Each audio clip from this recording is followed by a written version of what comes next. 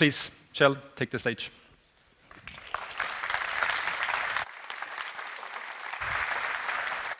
Thank you. It's always nice to be Norwegian in Swedish during the Skiing World Championships. Is the, is the male relay team in goal yet? They finished? Yeah? oh, I'll try to be nice. Uh, I just want to start off by saying this is not a, a, talk to slag down Scrum or Kanban, because I don't know much about that. Uh, so this, uh, the title is just to emphasize this is not about Scrum and Kanban. Uh, so if you have any sharp knives or guns, just put them away. I know this is Malmö. It's easy for you to go that way. Uh, when I, uh, Martin didn't tell me who the other guys were when I when I said yes to this. So when I saw the, the lineup with the impressive people, I had to, had to Google myself to find out who I was. Um, I think some of you might have seen me before because I was here during uh, uh, Competence Bio talking about the Efficiency team with me and James Bond. Anyone was there?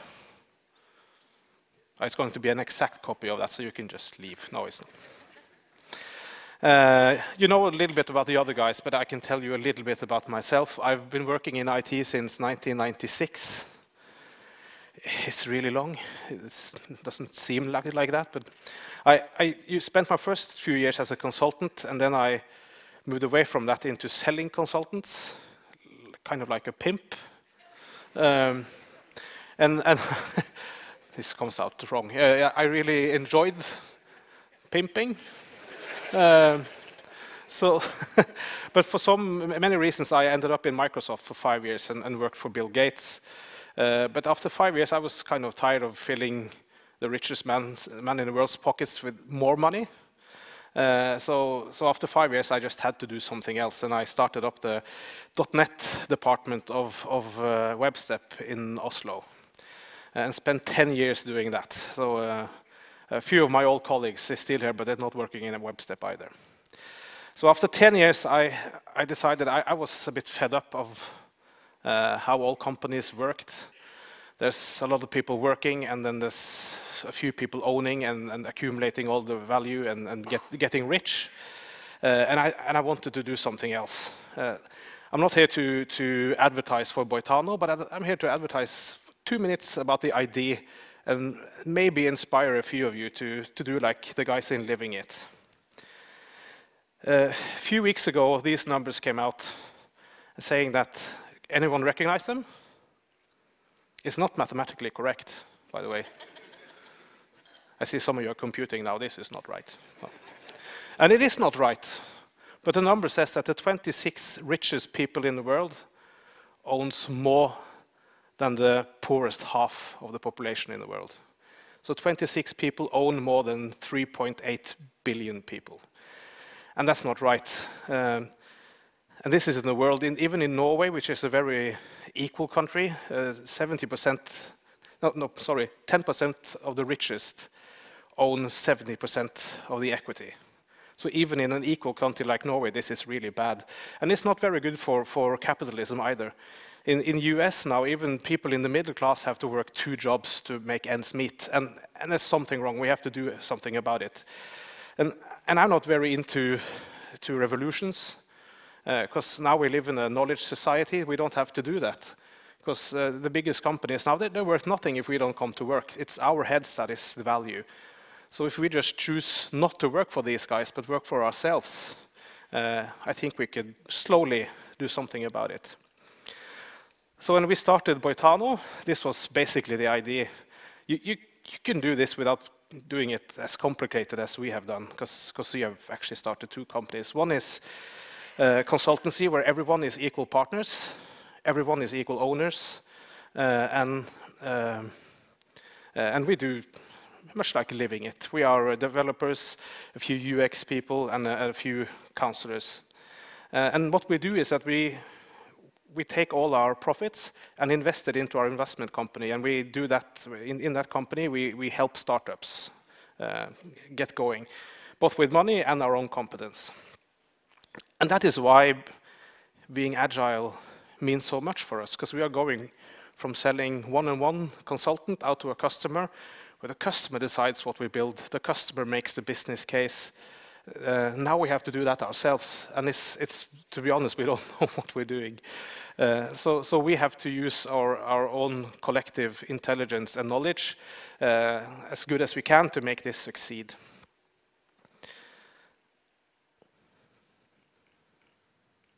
I have to time it. Thank you. Um, uh, when, when, I spent my five years in Microsoft, I, I didn't work in development at all. Uh, so when I came back, uh, there was a new expression I never heard called agile. Uh, and I never heard of Scrum. And one of my first reference call when we, we tried to hire this talented young uh, woman, uh, I called one of her colleagues and he said, you know, we do stand-ups every morning, 20 minutes. I said, wow, that sounds like a lot of fun, how, but how do you get up with new material every day? Uh, and, and I had a colleague listening in and he actually fell off his chair laughing. This is 12 years ago and he still mentioned it. So, so for me, Agile was something completely unknown. So, uh, but I saw how our customers were doing it and I was kind of in doubt because for me, Agile means something, but what they were doing wasn't very Agile. So I, I, had to look it up to see if, if I had misunderstood. But the word agile means adaptable, it means quick. Uh, and that is what I felt agile was. But a lot of companies trying to be agile didn't do this. They, they made a very rigid system instead. Uh, being agile is actually what has brought us all here. Uh, it's the evolution of the species. It's not the strongest that will survive. Uh, it's the most adaptable to change, which makes me very happy because I'm built like a beanbag. So I'm kind of shapeable. Uh, but, but this, is, this is like the foundation of our species. Uh, so it's a good thing, I think. Uh, I'd like to start by talking a little bit about, about the Agile uh, Manifesto and what, that's, what it says, because I, I think we tend to just forget that when we, when we try to get agile in our company. It's four points, very fast. Uh, the first point says individuals and interactions over processes and tools. The other point says working software over comprehensive documentation. Uh, and, I and I like the word working valuable uh, software, not only that it works. Uh, the third point is customer collaboration over contract negotiations. And the fourth is responding to change over following a plan. Does anyone feel that when they are trying to get their companies agile, they do this? Or do you do something else? You all do this? No, okay. Because that's the, that, I think that's a bit of, a kind of like the problem, because when, uh, the first problem is this, this is uh, very often an initiative from development and developers, uh, and, and not from management as it should be. Because being adaptable to change is a business thing, it's not a development thing. So it, this should be running through the whole company. But it's usually uh, a thing coming from the developers.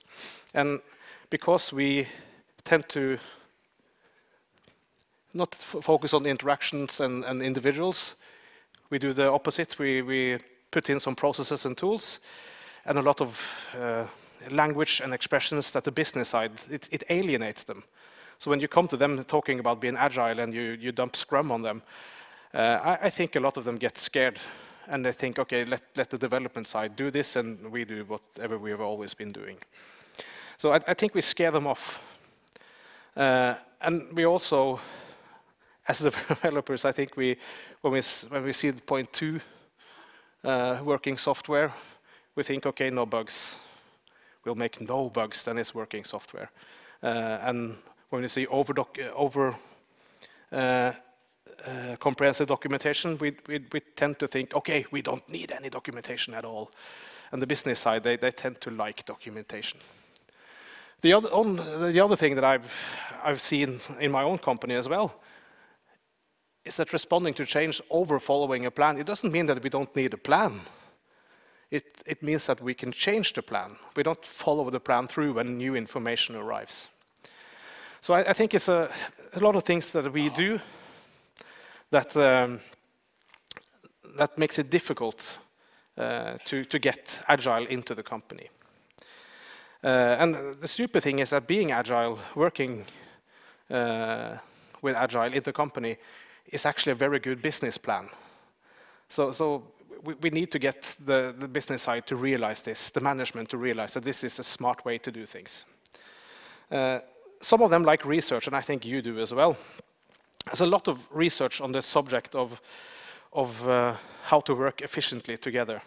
And, and, most of it really supports Agile. Uh, I think many of you might have read the study from Google, their internal study on how they uh, see that some teams are efficient while others aren't. Anyone read that? Yeah. This is basically a study that, that says the same, but it's since very few companies are Google is basically only one. Uh, this study is from a, a vast array of, of businesses. Uh, MIT has a human dynamics laboratory, and they wanted to find out why some some teams uh, consistently deliver better than other teams when they seemingly are the same. It's from the outside, it's very difficult to see why uh, one team should be better than the other. So they, they started to study this. So what they did, they, they included 2,000 people. It's a huge study, uh, ranging from hospitals to banks to call centers, uh, a vast array of, of uh, industries. And they equipped them with these electronic badges that records how much you're talking, uh, how much energy you put into it, how much you use your body language, who you're talking to, if you're facing them, and stuff like that. Um, so, so, over a vast time, they, they measured all of this. And what I found is that if you put all the other factors they considered into the equation, uh, the in, uh, individual intelligence, uh, the personality of the people there, uh, the skill set they had, and even the substance of what they were talking about. If you put all of those together, it's as important as how they communicated. Uh, and that's a very interesting find. They got what's four points they put in. They, they said what we found is the most efficient teams. Everyone was speaking in uh, equal measures. Uh, it was not like two or three in the team speaking a lot and the others don't speaking. They were fairly equal measures. Uh, and they were speaking with a lot of energy, facing each other, uh, looking each other in the eyes when they were talking, uh, connecting while talking. Uh, and they also saw that they, they didn't go to the boss and the boss went to the other guy, they were talking to each other. Uh, the, the manager was managing, he wasn't bossing around. That's very, very important that uh, the members uh, connect uh, directly with one another. And they did what you did today. They went outside the team to find new information. Outside the team to other teams in the company. They went to classes, they went to, some of them maybe beauty in code, maybe not. But that was what they did, and that's where they, they brought inspiration back to the team and made the team, team adapt. So I, I think this is a good study to, to, to show that uh, being agile actually works, or how I understand agile. I like to say, say a few words about size as well, because uh, the size of the team really matters. Uh, and, and, I think people that don't, don't, know too much about development, I think if you put on one more developer, you will get one more outcome. But we, we all know that it's, it's not that way. So it seems like the ideal uh, size of a team for, basically any team, but also for developers, is, is, a, is around six. If you add more than six, uh, the output will go down. So it's, it's try to keep it small. And the, the reason behind this is, is uh, this is not new. Uh, this Ringelmann guy is a, is a German. I think this is maybe 200 years old. They found out this, 100, 200. He says that uh, when you add people to a group, the individual uh, effort goes down, and, and the need you have to coordinate goes up. And you see that in IT projects. When, when the project grows, and you depend on other teams. The, uh, some people, they spend their whole days in meeting. They don't do anything. They just, just coordinate. That's all they do. So it's, it's basically a waste of time. Coordination does nothing positive for you. So this is another study, is my last study, I promise, uh, from quantitative software management, where they, they uh, have a huge database of, of projects, and they looked at around 500 of them over a three-year period. Uh, and then they compared it, took one simple metric, uh, 100,000 li lines of code Uh, and then they said, okay, we'll look at teams from uh, five and down and 20 and up and see how productive they were. And as you could see, adding at least 15 people made them deliver a few weeks sooner, two to three weeks sooner. They went from uh, the, the, big teams with 20 or more had uh, delivered in 8.92 calendar months, but the small teams, they were a bit slower, 9.12. So you can deliver faster with five times more people. The problem is the cost. So if you look at the cost here, it's, it's uh, $1.8 million on average compared to 245. So dumping a lot of people on your project is probably not a very good idea if you're concerned about the cost. And we're all, you're all developers, you know that if, if you put five people in a room coding 100,000 lines of code and 20, I would guess the five will get much more out of that, those 100,000 lines of code than the 20. So probably the number is even worse than this. Okay, let's get back to Agile. Uh, the first, they talk about individuals and interactions, and I think it's a very, very good way to start. And for me, that is all about people and how they relate to, to one another.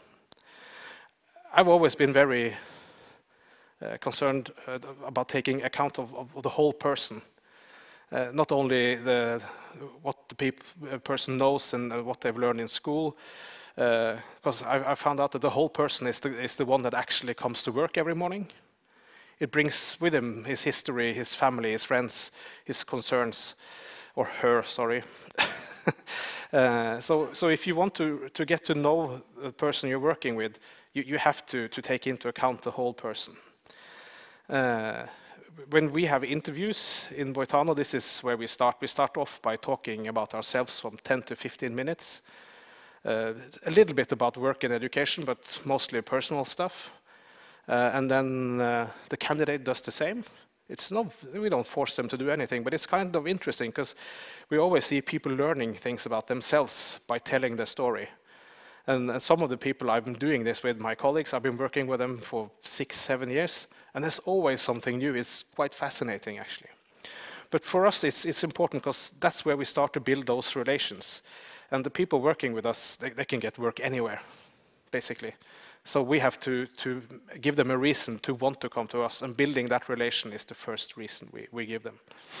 And, and what we've seen that when people feel safe and trusted uh, and secure and, and, know they can trust the other people, they, that's when they do their best work, basically. Uh, and also what I've seen is I, I have one of my colleagues, he's been working as an uh, independent consultant for 20 years before he started working with us. And his problem was that he has a wife working shifts.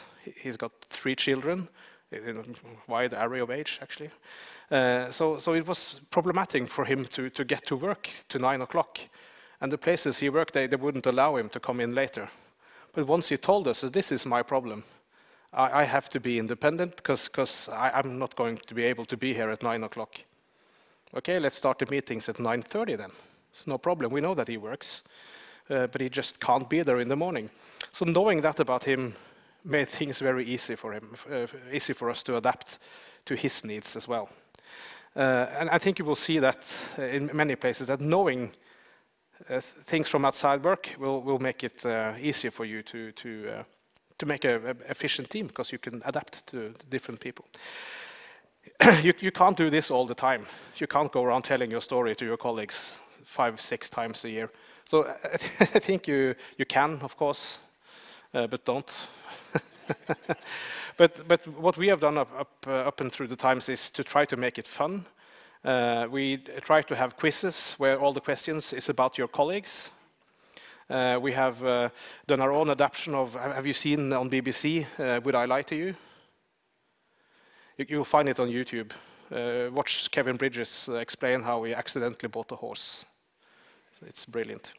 But we, have done that, so we've, we've collected history stories from everyone, and it's not the boring stories. You have to, yeah, like the one uh, the, the, one girl that said she she's been uh, accidentally uh, checked up by uh, uh, what's his name, the karate guy. Oh, I forgot his name. Forget it. Steven Seagal, yes, thank you. It's a great story. But what we've seen that people discover new things about each other, and, and it was has been one of the, the few funniest nights we've had when we've been doing that. Uh, and, and you can see people, two friends, finding out they've both been riding equestrians.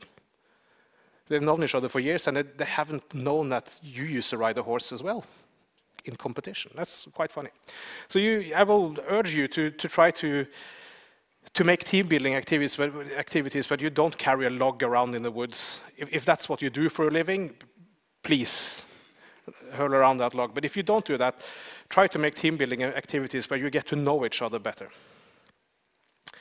Uh, relational skills is, of course, the fundament of, of, of uh, getting to know people. And it's, I get a little bit sick of this because people say, oh, it's easy for you because that's, that's how you are, but, but it's not who I am. When I was a child, I, I was very happy sitting by myself reading books and, and doing stuff that I was interested in. Uh, friends was something I, I, when I had the need, I went out to meet. Uh, so I, am not a very extrovert person, really. I, I enjoy my time alone. So this is something I've had to learn. For me, small talk was very difficult. I couldn't understand why you should do it. And I still don't do small talk. I try to do big talk. So when I talk to people, I talk about things that I think matter to them and I'm interested in hearing. And that's when you get all the interesting stories out. So relational skills is something you can work on. I think it's healthy to know what a relation is. And uh, it's, it's, a lot of relations goes in steps. And, and I, and I, would like to, to, to tell you that not all relations are very healthy. You have dangerous uh, uh, relations uh, that can actually be dangerous to your health, uh, leading to high blood pressure, heart attacks, depressions. Uh, and those close relations, uh, those relations tend to be close.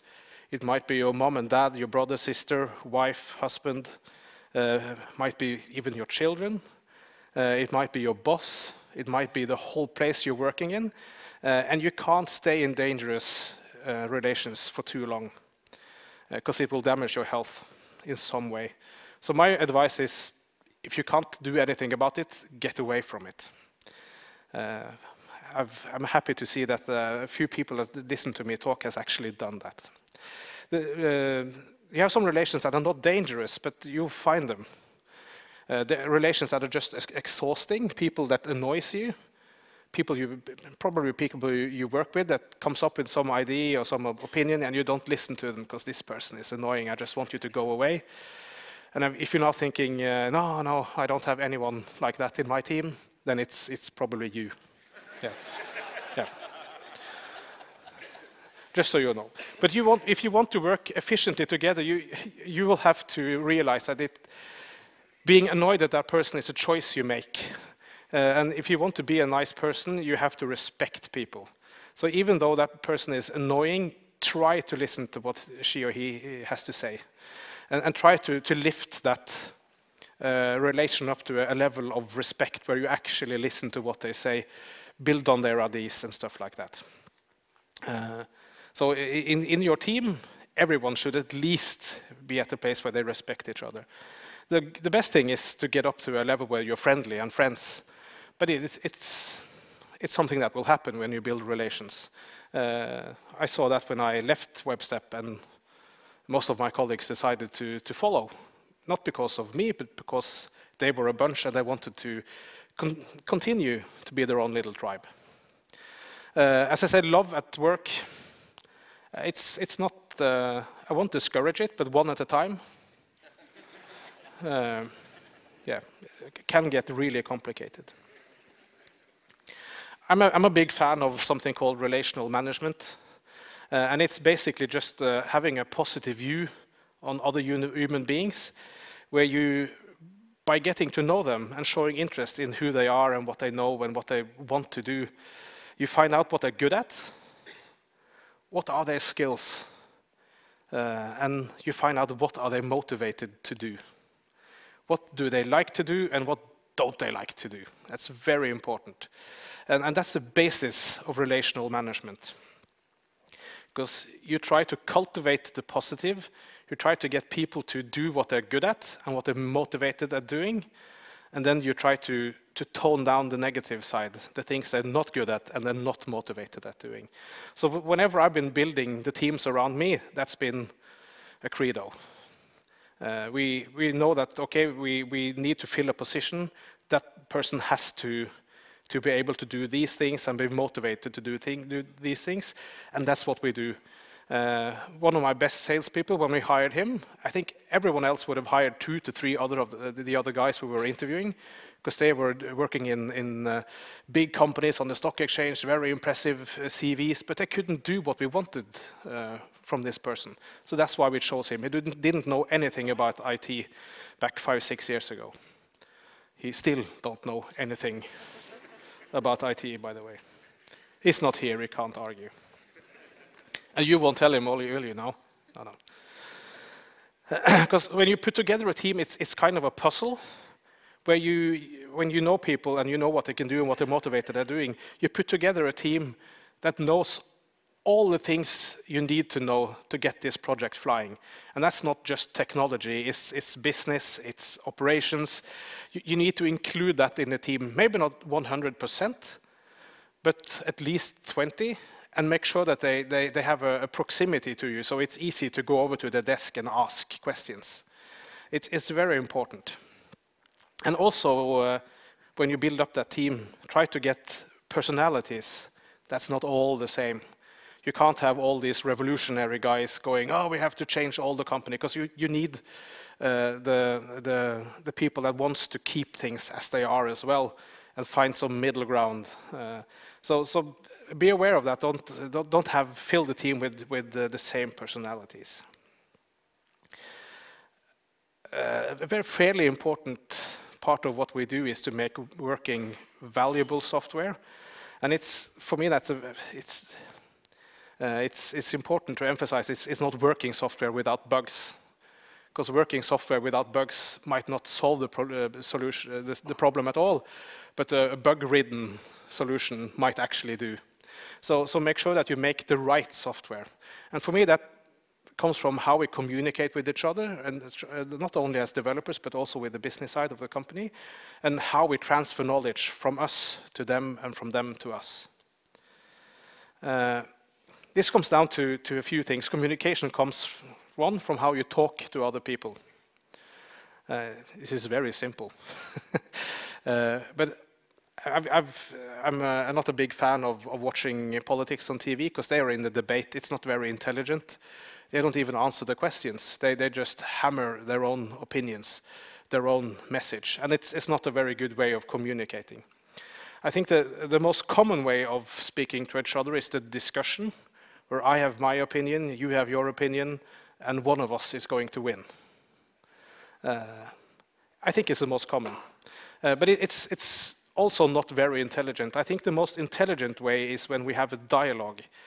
When you say something, and I'm not just waiting to say my piece, I am waiting to comment on what you've been saying, building on what you've been saying. That's when you have a dialogue. So make sure that you, the next time you, you're in a meeting, that you're not discussing. Try to have a dialogue instead. It takes some practice. The other way is how we listen. Uh, and I used to say it's, it's two ways of listening. Uh, one is what I call engineering, how engineering, uh, engineers listen. It's correctional. And the problem is that you have to have that on at some point. At some point, you are going to make logic out of this mess. Uh, and you have to have that listening on, that, that way of listening on. Uh, the problem is you, you, don't have to have it on straight away. Uh, when you start a conversation with someone, don't, don't this. Try to, to, listen to their intention, especially when they're not developers. Because uh, they will just find it's a hard time talking to you. So try to, to understand what they're saying, what they're meaning. Don't, don't try to make logic of it uh, straight away. So you, you have to, to be able to, to listen to the attention more often than we, than we do, uh, do the same. Because the thing here is to, is to create a good dialogue between you and the other people that is there to solve the problem. And uh, then you have to, to turn on your what I call the active listening, because you, you both listen to what they say and think about what they say at the same time. So you can ask the intelligent question. You can follow up with your own idea, building on their idea. Uh, and, and some of the best companies in the world, they do this. Uh, I will urge you to read the book Creativity Inc. Uh, about Pixar, uh, where, where you can see some of the ideas that have turned into movies. These terrible ideas. It doesn't even sound like the movie. But because they always build on the ideas, they tend to take another direction and turn into a genius idea instead. And that can happen all the time.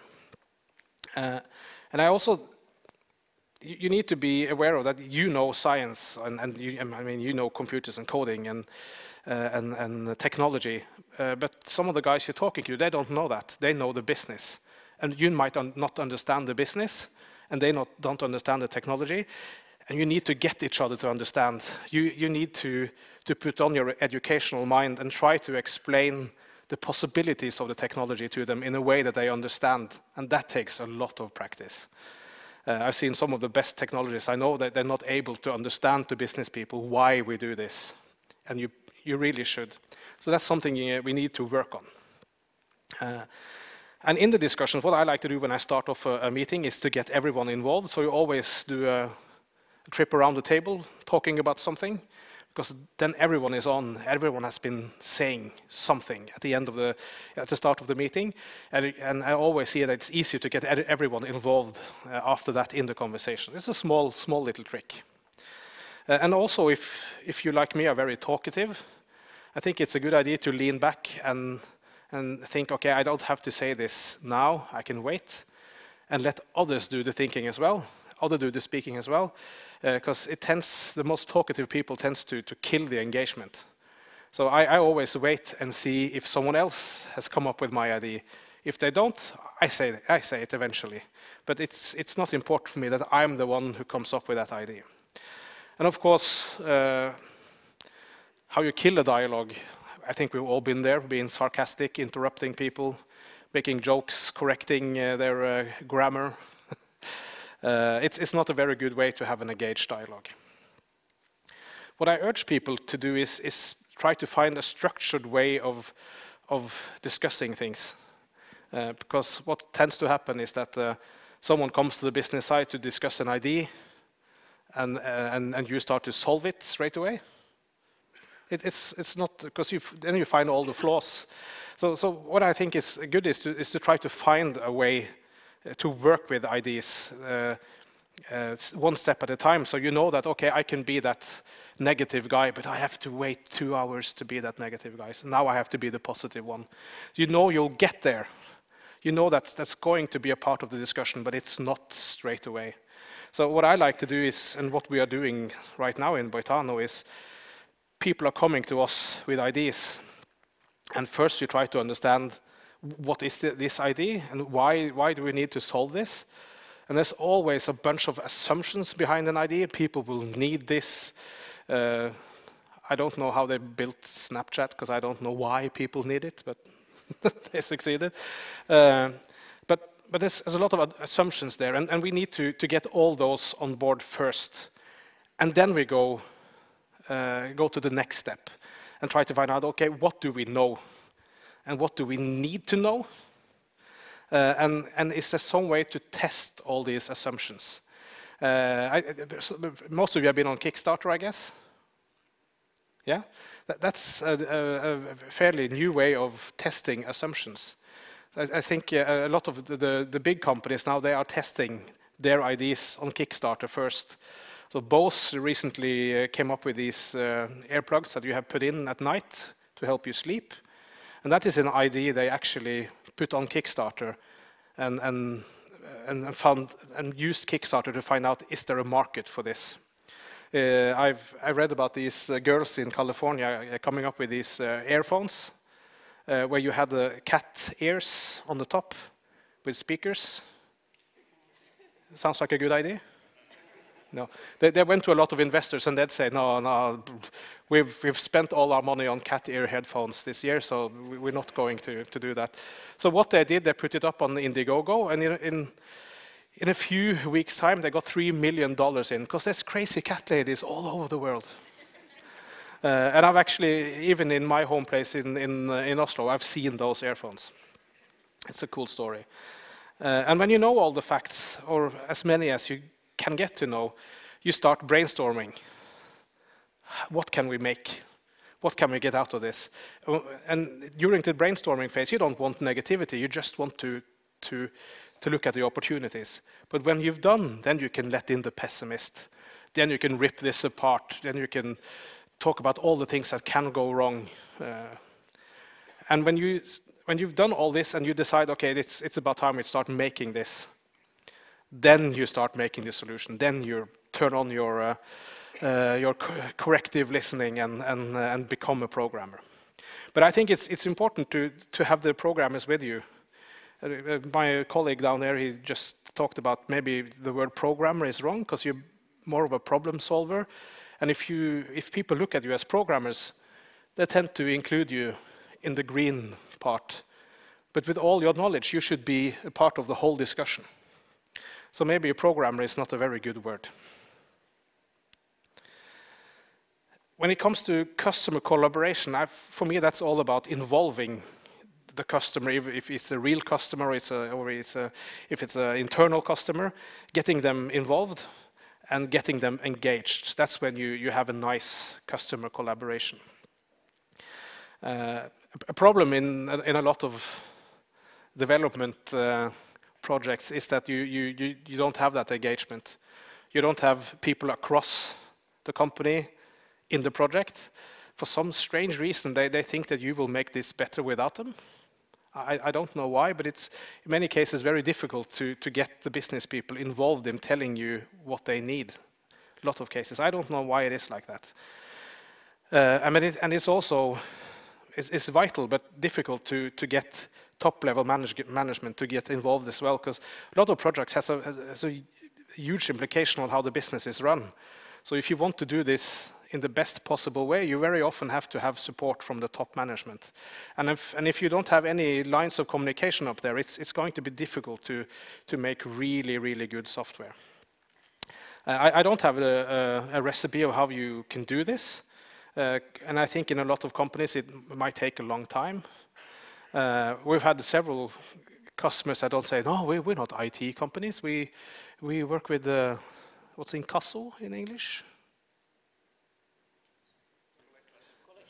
Yes, debt collection. Uh, and we say, yeah, okay, but 97% of all your revenue runs through your IT systems.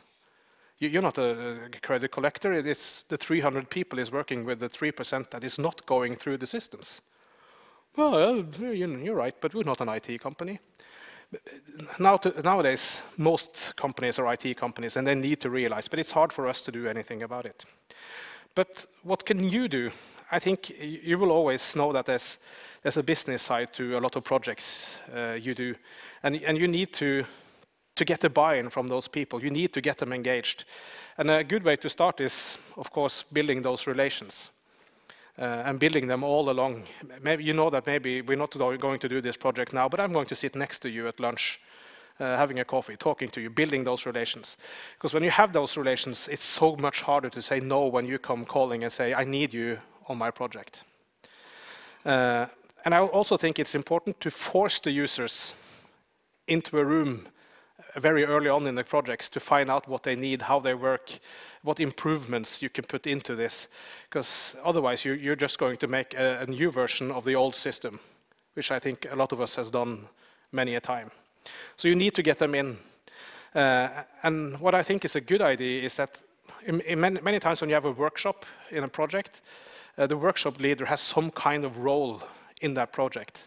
It might be from the business side, it might be from one of the departments, might be uh, one of the developers or the, or the project manager. Uh, and, and, very often that person has some kind of stake uh, in the project. And, and I think people have a tendency to think that, uh, that you have, uh, have, a, have an agenda. So, so to get a neutral workshop leader, I think might be a good idea and what also is nice about that is, is the guy who used to, or the girl who used to be the workshop leader, can now be a part of the meeting. Because that person usually has a lot of competence. So I, I will urge you to think about that. And when you get that buy and you get them into the room, you, you start to working, start working together. You find out what you need to build, then you visualize, make some mock-ups, make some, uh, some um, uh, you don't program everything. You, you, there's a lot of tools you can use to do this. Uh, and, and don't email the, the, what you've come up with. Sit in front of them, show them, talk to them, find out what they mean, and gather the feedback. And when you get the feedback, both then and, and later on in the project, you can use that feedback to create even more engagement. Because if you manage to make a short feedback loop from the, or a short loop from the feedback to when you show them the results, you will show them that your engagement leads to something. If it takes half a year from they say, oh, I want that button over there, and uh, uh, after six months it's there, it's not very responsive.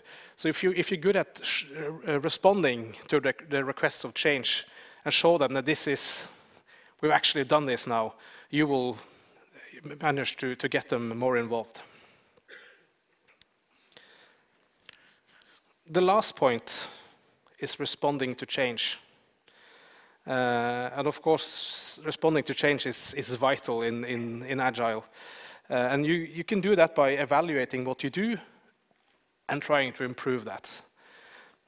I think what we often do is that we, we try to evaluate things as a team, but uh, if, you, if you want rapid change, you have to, to do that to each other as well. Give each other feedback when you do something good, you do something bad, and do that personal feedback.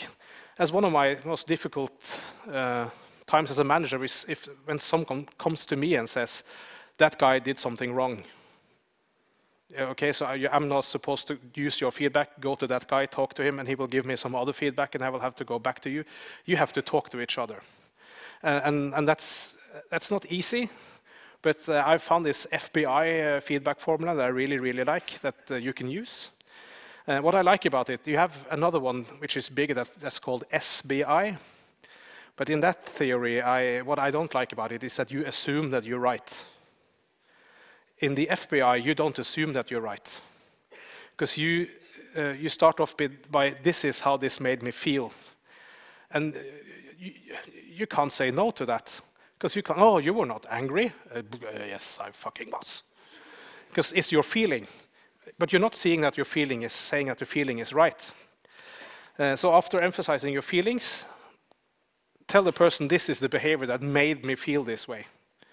And this is how it impacts me or how I think it impacts the project or whatever I'm doing. I have a few examples here.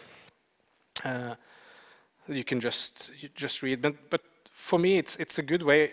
The, the, what I like about it is that, okay, it's, it's fairly direct, but it's, it's, uh, it's, I, think it's oftentimes, if you do it right, the, the other person won't try to shoot back at you, because I think it will respond to the feeling, and you will have, uh, have a nice conversation, maybe not a nice one, but you will have a conversation about it, not just, you did that, no I didn't, you're stupid, no you are stupid. I think this is a good way of, of of getting to talk about the real problem and, and how people uh, behave. So this is, for me, this is, is very important in, in evaluating and, and moving a team forward. Uh, I think we, have all done retrospectives. Is that right? I, I don't like the word retrospective because it looks backwards. Uh, and, and, uh, and, they say hindsight is 2020, but, it, but it's really not. Hindsight is, is rose-colored very often. So what I like to do is, is reflect not only about what, what, what's past, but also what's coming. Uh, so so uh, I got this, it's not my uh, wording, it's from a colleague. They said, uh, call it reflection workshop, workshops. But when you do it, be, be completely honest. Uh, criticize yourself first. That's a good way of being honest, but don't be shy of criticizing others uh, and try to find never more than three, maybe not more than one thing you can improve until next time. Because this is not how many improvements can we find. I've, I've seen so many times people come up with 20 improvements. Yeah, yeah, but you're not going to do any of them. But if you have one, it's so much easier to come back next time and say, okay, why are we still doing this? We need to improve. So, so prioritize what you improve. I will also, and, and go through with it, don't just talk about it and forget it, actually improve. I would urge you to, to, because most projects have a steering committee higher up in the organization, I will urge you to, to bring them along to those meetings, because a lot of the improvements you need to do is outside the team. So if, if, you, uh, if you need some kind of competence or, or you, you need a bigger project room or you need another project, something, uh, probably not something you can do about directly, but they can. So bring them along to the meetings.